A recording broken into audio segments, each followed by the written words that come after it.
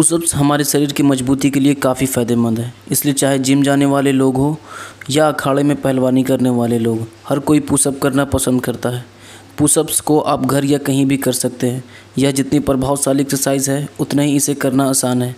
लेकिन क्या आप जानते हैं कि आपको एक दिन में कितने पुशअप करने चाहिए और पुशअप के फ़ायदे क्या हैं? एक दिन में कितने पुशअप करने चाहिए? अगर आप ये जानना चाहते हैं कि एक दिन में कितने पुशअप करने चाहिए तो इसका जवाब है कि ऐसा कोई नियम नहीं है। हालाँकि एक्सरसाइज करने वाले लोगों से पूछे जाने पर उन्होंने बताया कि एक स्वस्थ व्यक्ति एक बार में औसत 20 से 25 पुशअप कर सकता है। हालाँकि नियमित अभ्यास से ये गिनती 40 से 50 या उससे ज़्यादा भी बढ़ाई जा सकती है। पुशअप्स करने के फ़ायदे।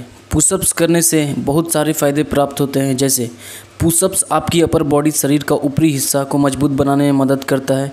इससे छाती, कंधे, हाथ ताकतवर बनते हैं और मसल्स उभरती है। पुशअप्स को अगर सही तरीके से किया जाए तो ये अपर बॉडी के साथ पेट की मांसपेशियों के लिए भी फ़ायदेमंद है। इससे शरीर की अस्थिरता भी बढ़ती है। आप पुशअप्स को कार्डियो वर्कआउट में भी शामिल कर सकते हैं। इसे करने से आपका दिल ज़्यादा तेज़ धड़कने लगता है और खून को पंप करने की उसकी क्षमता बढ़ती है। ये एक शारीरिक वज़न उठाने वाली एक्सरसाइज है, इसलिए यह हड्डियों को मज़बूत बनाने में भी मदद करती है।